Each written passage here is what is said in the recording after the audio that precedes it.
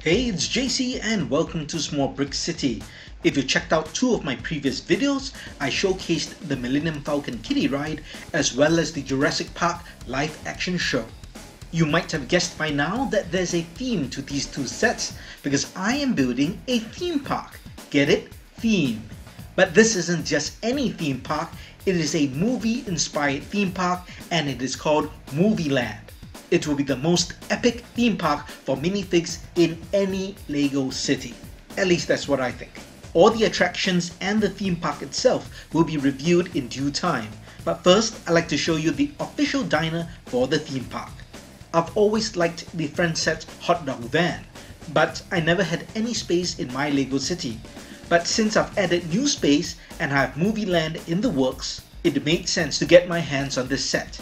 However, this set has a very distinct Friends color scheme which doesn't fit my taste or Movieland itself, so I modified it to fit my theme park.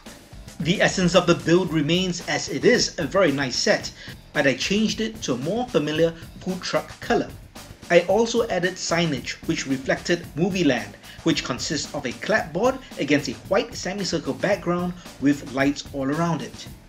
First, let's have a look at the hot dog minifig, which is part of the promotional and marketing efforts to draw patrons to the hot dog van. You might recognize this as Robin inside the hot dog mascot, and it is indeed a character Robin. After all, this is Movieland, so it makes sense to have a movie character as part of the cast. As mentioned, I retained the essence of the hot dog van, but I changed a lot of the colors to fit my theme. Here's a closer look at the roof, which is the top of the hot dog bun, and I changed the front rounded modified bricks to red and white. The original color was pink and red. While the signboard seems simple, it actually took me some time to figure out how to best represent this Movieland diner. Incidentally, the name of this establishment is Stardogs. I also changed those three long grey plates which were originally pinkish purple. For the dining area on the roof, I changed the chairs, tables and added towels as well as a transparent umbrella. Plates were also changed for the main body of this hot dog van. These include the long grey plate at the bottom as well as the white plates which acts as the countertop for the food truck. The dark grey round bricks which act as vertical supports were also changed and I added appropriate minifigs to the set. There's a diner server as well as the chef. For the inside, I added in a chair, tiled the floor, added a cupboard with some desserts, and a tinted blue window which seems like a refrigeration unit. Overall, the food truck is much better equipped to handle all the crowds in my theme park. I hope you like the minor modifications I did to the Friends hot dog van.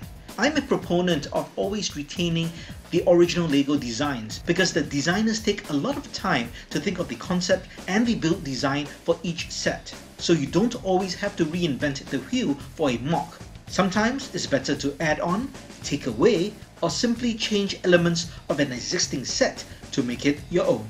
Leave a comment and let me know if you like these modifications.